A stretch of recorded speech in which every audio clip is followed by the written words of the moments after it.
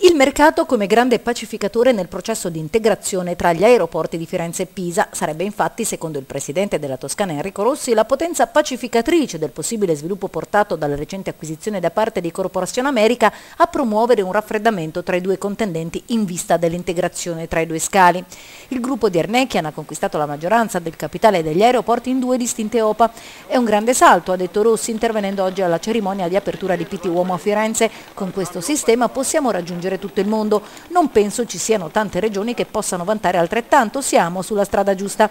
Il governatore toscano ha fatto notare che se è vero che la Toscana è moda, imprenditoria, export, turismo, allora bisogna attrezzarsi con le infrastrutture. Infrastrutture tra le quali viene considerata anche la Fortezza d'Abbasso, complesso il cui recupero, ha annunciato Rossi, la regione si è impegnata assieme al comune di Firenze a iniziare al più presto.